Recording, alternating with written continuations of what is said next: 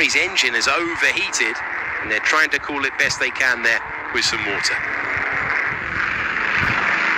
Back on track, the Talbot teammates Cabantous and Rosier are having a good scrap here.